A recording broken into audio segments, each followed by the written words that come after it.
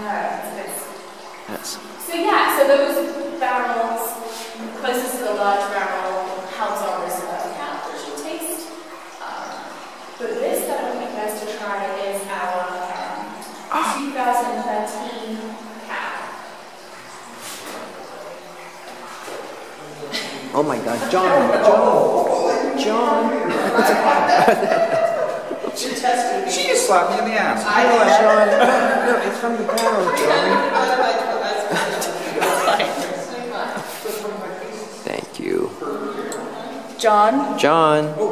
I'm just going to do this for you. Okay. I'm going to wait. Do it. Got it. Got it. So this is the 2013. So this will be um, bottled in September and then released to the winery for people to purchase Ah. next year.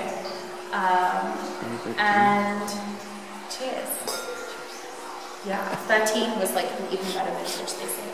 so, see what you think. That is nice. I mean, it's drinking so nicely right now. Yeah. See, we already figured that out though.